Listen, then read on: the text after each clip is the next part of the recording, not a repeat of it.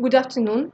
My name is Gomozova Tatiana Sergeyevna. I am a student of the fifth course of the Faculty of Medicine of Privolzhsky Research Medical University from Nizhny Novgorod. Uh, my scientific supervisor is a teacher of the Department of Foreign Languages, Volk Vladimir Sergeyevich. And today I'm going to tell you about Nikolai Vladimirovich Timofeev Resovsky, the bison of Soviet genetics. Nikolai Vladimirovich Timofeev Resovsky is a world-famous Soviet genetic scientist.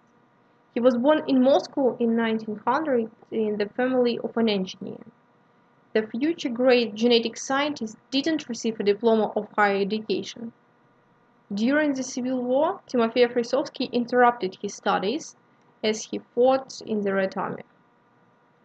He studied and worked under the supervision of famous professors Koltsov and Chetverikov during the years of their joint work, Timofeev Resovsky suggested that a single mutation causes multiple changes in appearance.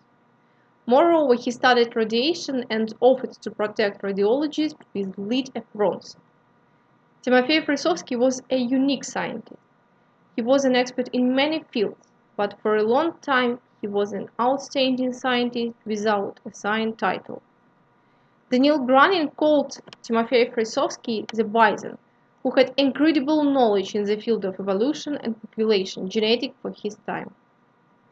In 1925, the famous German neuropathologist Oskar Vogt was looking for a young and talented genetic scientist to work in Berlin. Such a person turned out to be Timofeev Resovsky, whose works were ahead of modern science for many years. After a few years of his work in Germany, Timofeev Resovsky, together with the future Nobel Prize winner Max Delbruck, created a biophysical model of the gene structure and mechanisms for its change. During Timofeev Resovsky's work in Germany, the Soviet Union became an unfriendly country to genetic scientists. That is why Timofeev Resovsky couldn't return home.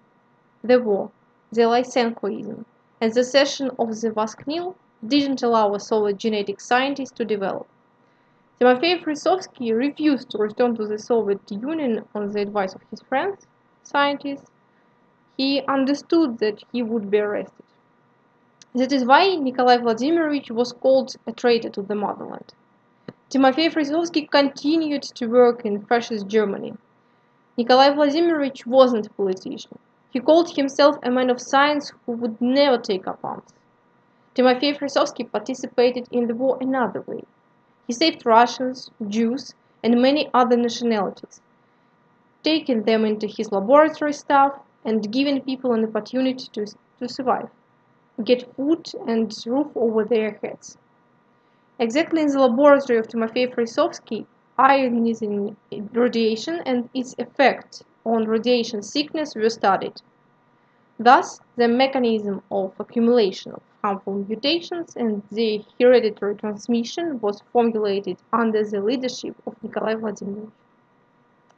The world-famous target theory also appeared thanks to a Soviet scientist Timofeev Resovsky. So, Timofeev Resovsky became the father of radioecology and radiobiology.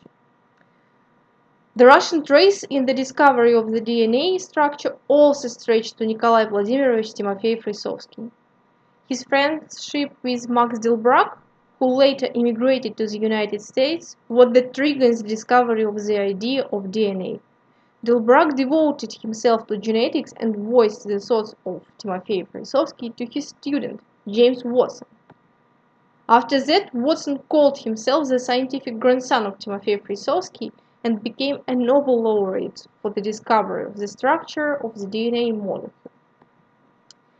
In the 1950s, Timofeev Resovsky was nominated for the Nobel Prize for research on the structure of the gene, but the Soviet Union called the great genetic scientist a traitor to the motherland and sent him to a concentration camp.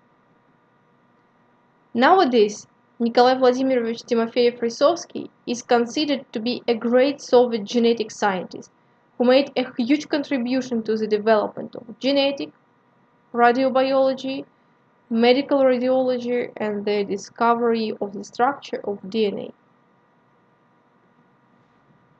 Thank you for your attention.